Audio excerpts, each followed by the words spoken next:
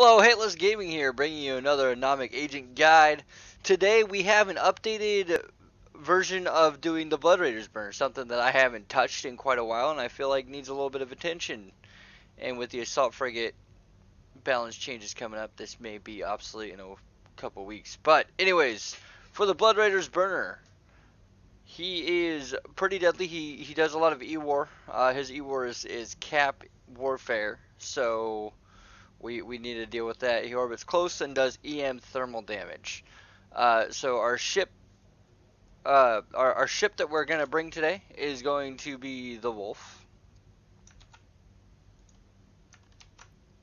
Uh, for this Wolf fit, we've got uh, four 200 millimeter autocannons. We got a Metastasis adjuster 2 and a small capacitor control circuit, a Censer battery, a stasis webifier, a, a small armor repper, a, a Centii A-type or a Corpii A-type, whichever is cheapest for you. You need the 30 HP a second rep rate. We got two gyro stabilizers. They are shiny, but we need that to fit in CPU.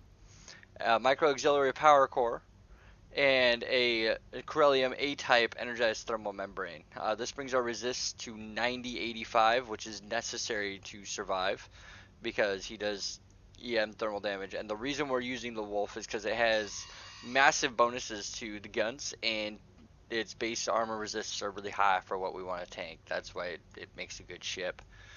Uh, where super cap stable, it does about 20 gigajoules of cap pressure. We got a Censer cap battery, which gives us E-War resistance, uh, minus 25%, and then plus the 15 uh, gigajoules a second, that keeps us stable even though we get neuted to high health. Uh, as you can see, the fits listed here. I'll also have it in the description. Uh, for the fight, it's act. Or wait, I forgot to do skills. I forgot to do skills. Anyways, uh, for skills, what you're gonna need is assault assault frigates to four or higher, uh, which I'm currently training to five, and then we need Minmatar frigate to five to be able to fly the Wolf. The engineering skills are the requirements for engineering skills are really high. You're gonna have to have advanced weapon upgrades five. You're gonna have to have capacitor management and capacitor systems operations to 5. You're going to have to have power grid management to 5, electronics up no, it's not electronics upgrades, weapon upgrades to 5.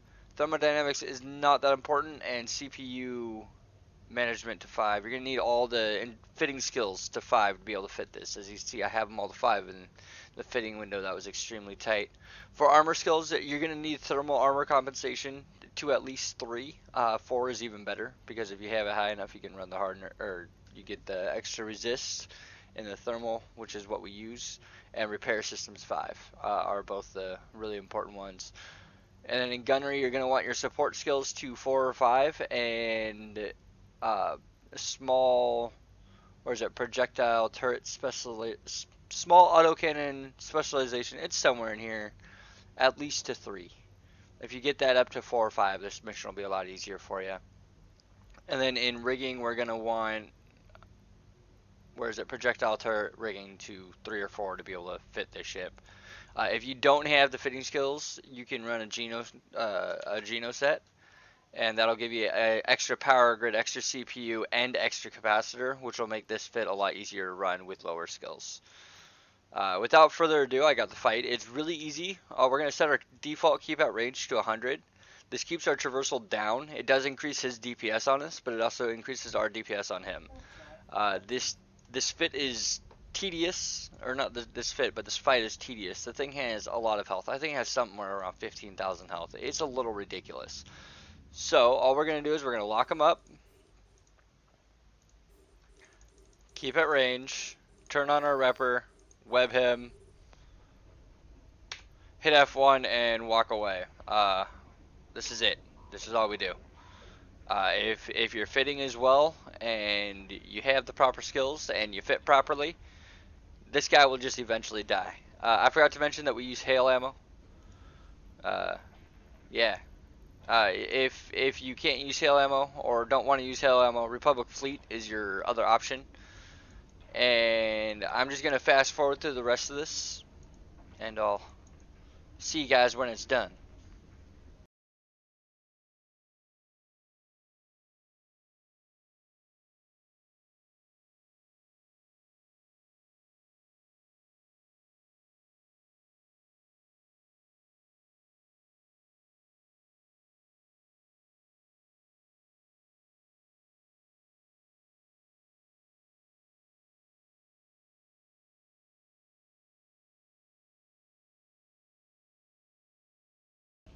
Okay, now he's in the hole. He's gonna die pretty quick. We can start overheating to finish him off.